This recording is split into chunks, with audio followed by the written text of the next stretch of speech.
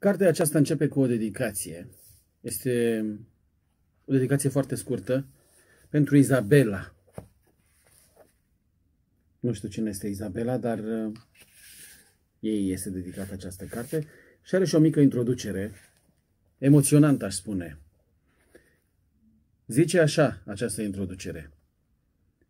Mamă, tată, vă visez în fiecare noapte. Vă strig, dar voi nu mă auziți.